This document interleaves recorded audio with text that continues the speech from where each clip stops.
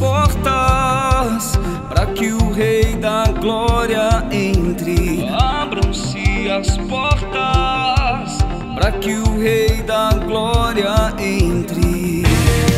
Jesus, tu és tão grande. e nunca Está distante, eterno é o